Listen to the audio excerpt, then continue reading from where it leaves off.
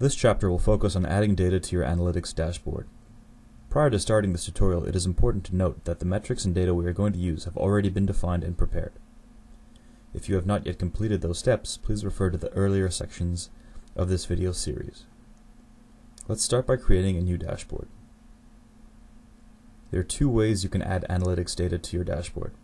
The first method is to drag and drop a virtual cube onto the dashboard canvas. By default, this approach will use the combined OLAP chart and grid analytical control type. If we want just one or the other, that is to say, just a chart or just a grid, we can drag the appropriate control onto the canvas from the toolbox and then drop an instance of the virtual cube onto it.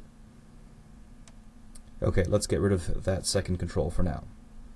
With the cube viewer in place, we can perform a number of customizations. Let's say we don't like the bar chart and we want to use a line chart instead. Simply click on the control, select series, and then select chart type. Change the type to line, exit the menus, and there you have a line chart. Further customizations can be made by altering the properties in the property grid. For a full list of these properties and their function, please consult the Dundas support site. This ends this section.